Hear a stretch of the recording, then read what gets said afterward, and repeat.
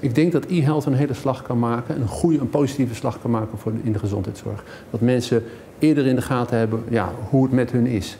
Ehm, meer inzicht krijgen in, in, in het effect van, van hun zelf, zelfmanagement, zullen we zeggen. Ehm, ik denk dat dat heel nuttig is. We hebben bijvoorbeeld zelf een onderzoekje gedaan onder mensen die heel slecht hun uh, pillen slikten. Heel, uh, die hadden een, een, pillenvoorschrift waar ze iedere dag op een bepaald moment die pillen moesten slikken. We hebben ze toen een, een, een doosje gegeven uh, wat sms'jes afgaf als je je pillendoosje niet openmaakt en je pillen niet slikte. Je ziet dat mensen daardoor veel meer alert zijn van, oh, wacht even, ik ben het weer vergeten. En daardoor zie je ook dat ze, ook al haal je daarna dat sms'je weg, dat ze daarna veel beter hun pillen slikken, omdat het gewoon meer ingesleten is in hun leven.